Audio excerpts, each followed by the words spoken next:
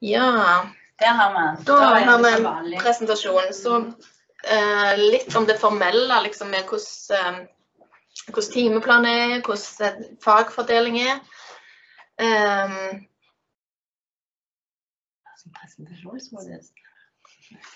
ja, hvor ligger langt ned? Bare snakk la seg ikke Sånn, nå var alt på plass.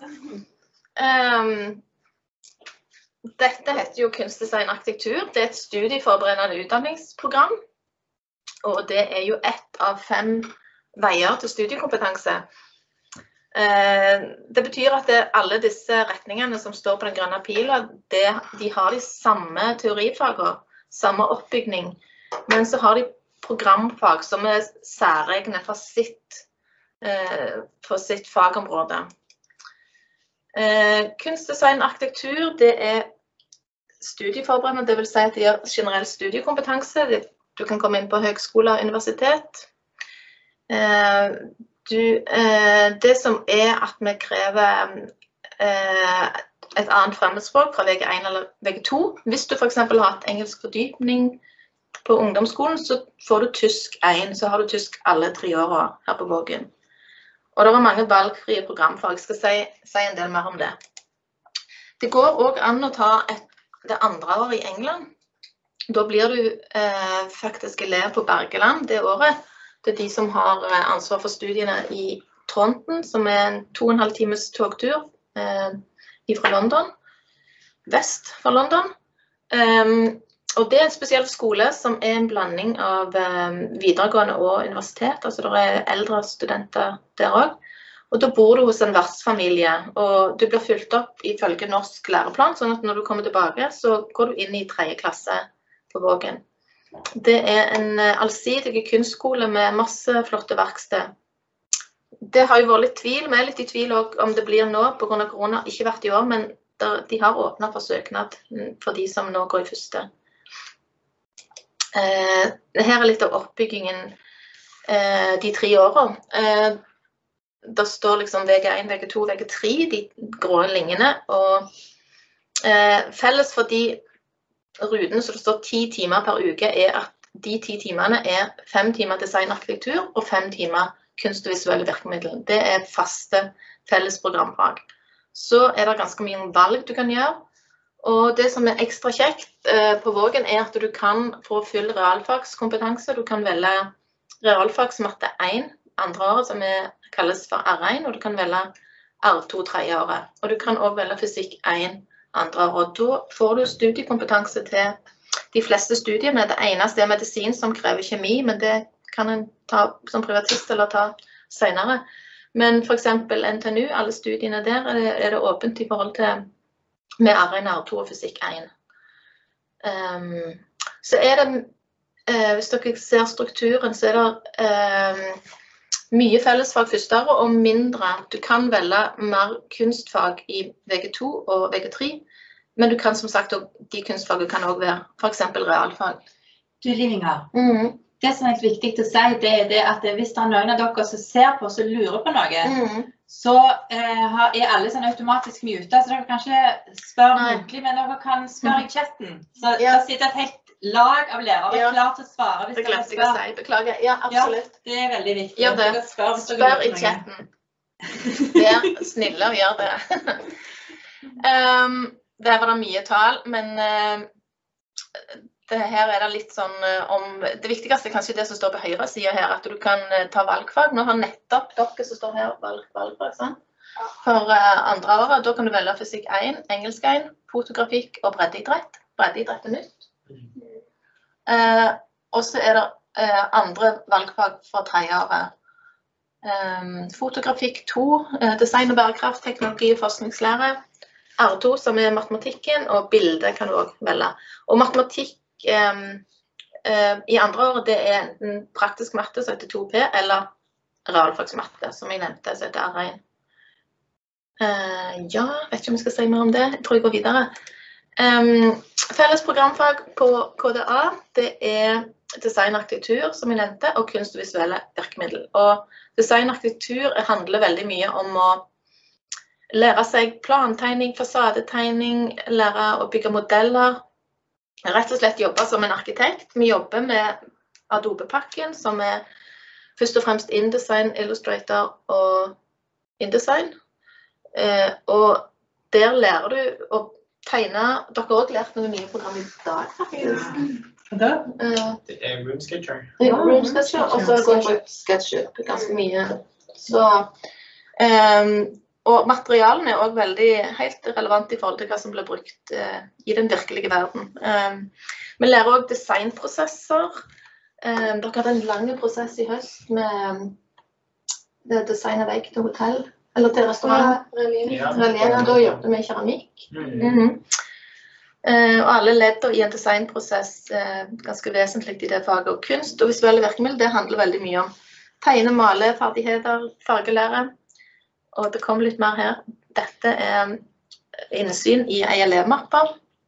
Dette tror jeg var akkurat starten, var det ikke? Jo, Alle var litt sjenerte, spiste blyanter, tegnte ryddig og fint. Og det gjør dere ennå. men Dere snakker litt mer, heldigvis. Ikke så rolige.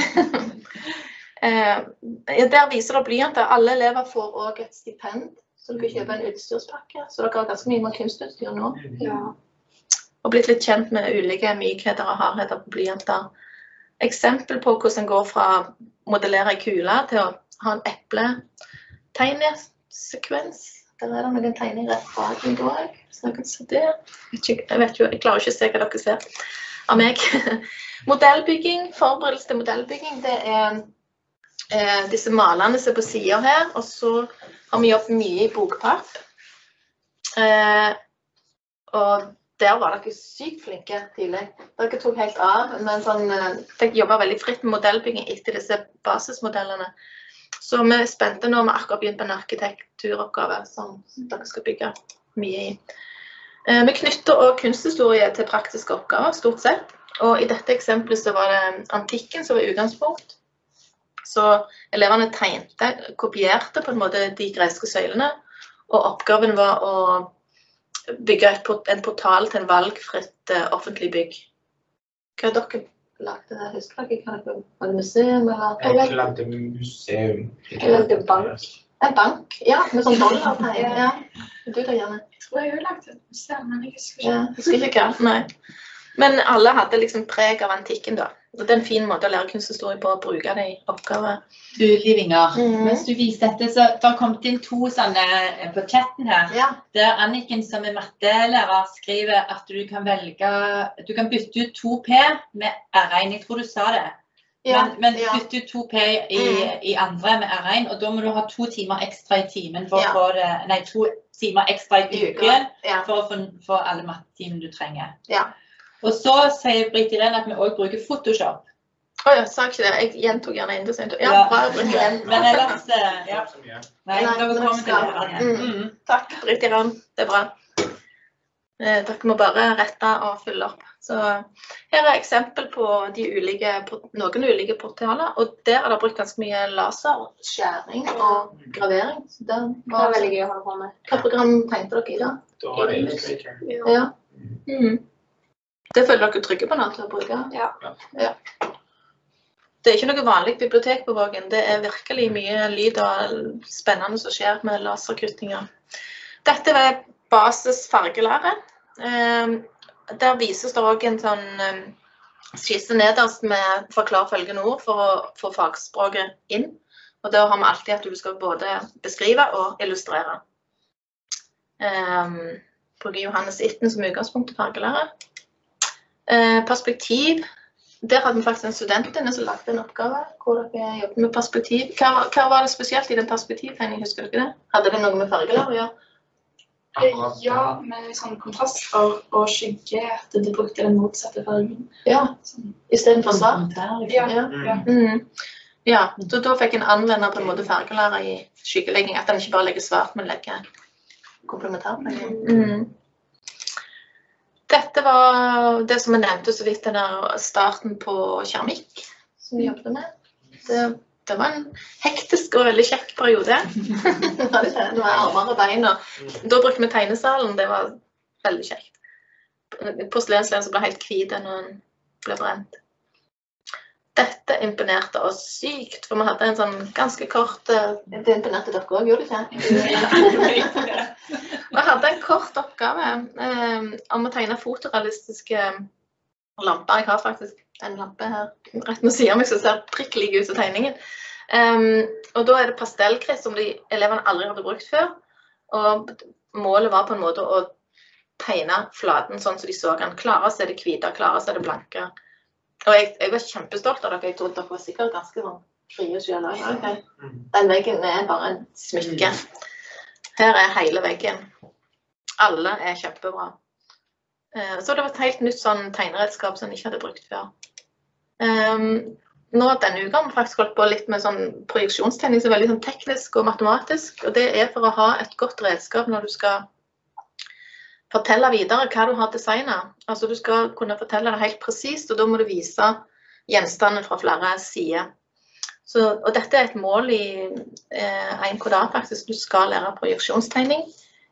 Um, hvordan opplevde dere det? Altså, det ser ganske vanskelig ut når vi ser det på bildene, men det er egentlig mye lettere enn det ser ut. Men det er jo sånn med alle prosjektene her på KDA. Ja. For det alt ser for alt ser vanskelig veldig ut. vanskelig ut når Ja. du starter med det, men Ja. etter hvert så blir det egentlig veldig lett. Mm. Når du kommer inn i det. Så bra. Det er litt sånn trappetrinn å komme opp, men så, så ser du der og tenker jøss, jeg har lært mye.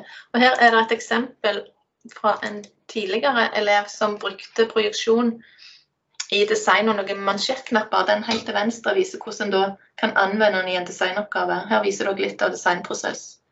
Tenke målgruppe, tenke hvordan skal presentasjonsskisse se ut for at en kunde skal få lyst å kjøpe det eller produsere det. Med inspirasjon fra barokken. Noe sånn kunsthistorisk eh, referanse i den oppgaven. Um, barokke krager det gjorde vi i 2KDA. Da lagde elevene en krage inspirert fra barokken. Og innleveringen var et foto som var behandla i Photoshop. Med litt sånn klerobskur preg som er typisk for barokken. Dette òg er fra en kunsthistorisk periode, Art nivå, i tredje klasse. Hvor de har tenkt selvportrett og satt seg inn i en sånn klassisk Art Nouveau-ramme. Eh, biblioteket er kjempespennende. Der skjer det så mye. Og her er det litt eh, bilder av eh, 3D-printer. Laserskjærer. Dette var senest i dag ble det laserskåret. Og her er det eksempel på ting som er bygd. Eh, dette er en oppgave som heter Pocket Park, hvor de har jobbet med laserkutting og bokpapp. Det var egentlig det samme dere gjorde på portalene. Mm. Ja. Nå får jeg rase igjen. Dette er bare for å vise hva laserkutteren kan brukes til. Dette er et større arbeid, gruppearbeid på valgfag arkitektur og samfunn i tredje. Hva får elevene igjen for å velge KDA? Nå må jeg jo spørre dere om dere er enige. Men eh, i tillegg til generell studiekompetanse, så påstår jo vi at dere får en variert skolehverdag. Dere får bruke flere sider av dere sjøl. Vi snakket litt om det der høyre og venstre hjernehalvdel. Kan dere si noe om det?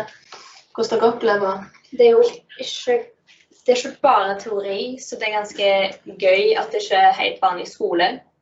Og det var en av liksom, grunnene til jeg valgte KDA, siden jeg var litt lei av vanlig skole, og KDA virka veldig gøy i forhold til vanlig studiespesialisering. Dere jobber mye, altså dere, men er det slitsomt? Er det hardt, eller er det Mm, ikke veldig. Det er, det er kjekt, så det gjør Ja. mm, Ja, det er liksom ikke farlig å ha det travelt hvis en har det kjekt, tenker jeg. Mm. Eh, En får lære litt samarbeid om større prosjekt. Blir utfordra på Altså, dere utvikler jo kreativiteten. Ja. Den er jo så vesentlig og viktig for alt Mm. senere i livet. Eh, Får mye nye digitale program Mm. dere blir komfortable med. Dere tar det jo lynkjapt. Håper dere trives. Ja. Ja. Det var litt skummelt å spørre om dette nå. Får rett og slett i pose og sekk. Du får liksom eh, både det kreative og den studiekompetansen som man selvsagt er på jakt etter. Skal vi se Nå tenkte jeg jeg skulle dele skjerm. Mm. Trykker du bare på den du den fram, liksom? Ja, det var det. Ja, sant. Skal dere gå ut? Men jeg, har, jeg tror ikke jeg har trykt på den. Jo, det er sant. Er det sant? Å ja, er det sant? Det er OK. fint nok. Ja. Men hvis noen skal se stort, så må de trykke på bildet sjøl, liksom. ja. Mm. Noe dere har lyst til å si? Hvordan var overgangen fra 10. klasse til dette? Dere må komme litt lenger. Ja. Det er i hvert fall mer rolig, på en måte. Jeg føler at i hvert fall 10. klasse var veldig stress. Sånn, men det er sikkert fordi det er liksom det siste året. Men her er det iallfall Det går ganske sakte sånn egentlig. Dere jobber litt sånn lenger økter med fag òg. Ja. At dere har gjerne fem timer med kunstfaget. Ja, Ja. altså Timeplanen her er jo litt annerledes. da. De fleste fag pleier å gå etter hverandre. på en måte. Sånn som fredagen vår er jo tre timer engelsk og fire timer norsk. Så Ja. den er jo litt sånn Det høres veldig Det, det tungt ut, høres veldig tungt ut. men lærerne er veldig flinke til å gjøre det variert. Mm. Så det er, ikke, det er ikke bare å lese én bok. Det er sånn, Du leser kanskje i et kvarter, og så ser du film, og så snakker dere. Det blir veldig mye forskjellig og variert. Mm.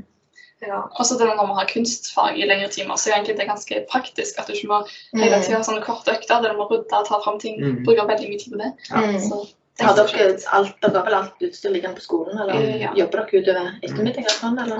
Altså Hvis jeg skal det, så tar jeg det med hjem. liksom. Ja. Da, Mm. Ja.